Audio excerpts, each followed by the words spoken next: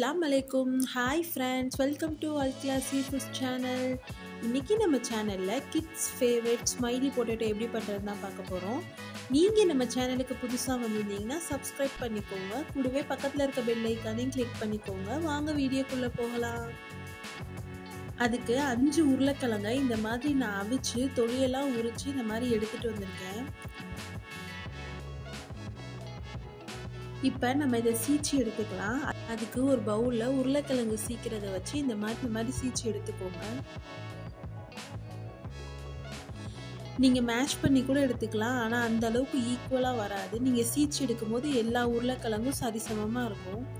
அதனால தான் நம்ம இப்போ சீச்சி எடுக்கிறோம். பாருங்கள் இந்த மாதிரி எல்லா உருளைக்கிழங்கையும் சீச்சி எடுத்ததுக்கப்புறம் நம்ம இப்போ இதில் மசாலா சேர்த்துடலாம். இதில் ஒரு டேபிள் ஸ்பூன் உப்பு இந்த ஸ்பூனுக்கு நான் மூணு டேபிள் ஸ்பூன் கார்ன்ஃப்ளவர் மாவு எடுத்துகிட்டு வந்திருக்கேன். அதையும் உள்ளே சேர்த்துக்கோங்க. இது கூட அரை டேபிள் ஸ்பூன் மிளகாய்த்தூள் சேர்த்துக்கோங்க. அரை டேபிள் ஸ்பூன் சீரகத்தூள் அரை டேபிள் ஸ்பூன் மிளகுத்தூள் ஒரு டேபிள் ஸ்பூன் பிரெட் க்ரம் சேர்த்துக்கோங்க. இது வந்து ஆப் ஆப்ஷனல் தான். உங்ககிட்ட இருந்தால் சேர்த்துக்கோங்க. இல்லைன்னா பரவாயில்ல நல்லா தான் இருக்கும். எல்லாத்தையும் சேர்த்ததுக்கப்புறம் நம்ம இதை ஒரு கையை வச்சு நல்லா மிக்ஸ் பண்ணி எடுத்துக்கலாம். பாருங்கள் நீங்கள் எக்ஸ்ட்ரா எந்த ஒரு தண்ணியும் ஆட் பண்ணாதீங்க. உருளைக்கிழங்குல இருக்கிறதே நமக்கு போதுமானதாக இருக்கும். நல்லா இந்த மாதிரி மிக்ஸ் பண்ணி எடுத்துக்கோங்க. இப்போ நம்ம இதை ஃப்ரிட்ஜில் ஒரு டென்லேருந்து ஃபிஃப்டீன் மினிட்ஸ் வரைக்கும் வச்சு எடுத்துக்கோங்க. இருக்கட்டும். ஃப்ரிட்ஜில் ஒரு டென் மினிட்ஸ் கழித்து எடுத்துகிட்டு வந்திருக்கேன். இப்போ இதில் கையில் கொஞ்சமாக ஆயில் அப்ளை பண்ணி இதை ஒரு சப்பாத்தி கட்டைக்கு மாற்றிடுவேன் மாற்றி இதை நல்லா இந்த மாதிரி கையை வச்சு அழுத்தம் கொடுத்து இந்த மாதிரி நல்லா பெருசாக்கிக்கோங்க.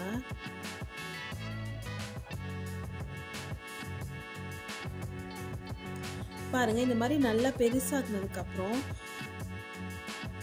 இந்த மாதிரி டம்ளர் வச்சு ரவுண்ட் ஷேப் கட் பண்ணிக்கோங்க. எக்ஸஸ் இருக்க மாவெல்லாம் எடுத்துருங்க.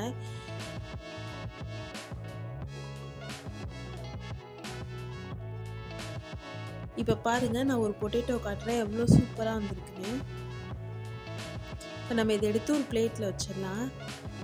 இதே மாதிரி எல்லா பொட்டேட்டோவும் எடுத்து இந்த மாதிரி ஒரு பிளேட்டுக்கு மாற்றிருக்கேன்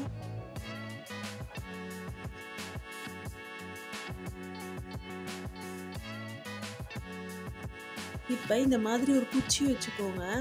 வச்சு ரெண்டு கண்ணு மாதிரி வச்சு எடுத்துக்கோங்க. வச்சு ஒரு ஸ்மைலிக்கு ஸ்பூனை இந்த மாதிரி திருப்பி ஸ்மைலி மாதிரி போட்டுக்கோங்க. பாருங்கள் இதே மாதிரி எல்லாத்துலேயும் வச்சதுக்கப்புறம்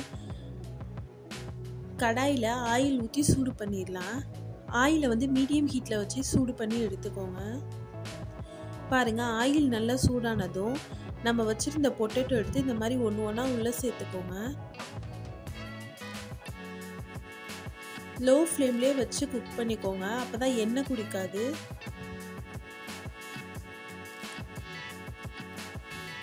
பாருங்கள் இந்த மாதிரி வெந்ததுக்கப்புறம் இதை திருவி போட்டுருங்க. இது ஒரு ஃபைவ் மினிட்ஸ்க்கு மட்டும் லோ ஃப்ளேம்லேயே இருக்கட்டும். எடுத்துருங்க. பாருங்கள் நம்மளோட சூப்பரான பொட்டேட்டோ ரெடி ஆயிடுச்சு. நீங்கள் இதை கண்டிப்பாக உங்கள் வீட்டில் ட்ரை பண்ணி பாருங்கள் உங்கள் வீட்டில் உள்ள எல்லாருக்கும் ரொம்ப பிடிக்கும். உங்களுக்கு இந்த வீடியோ பிடிச்சிருந்தா லைக் பண்ணுங்கள் ஷேர் பண்ணுங்கள் கமெண்ட் பண்ணுங்கள் மறக்காமல் சப்ஸ்கிரைப் பண்ணுங்கள் தேங்க்ஸ் ஃபார் வாட்சிங்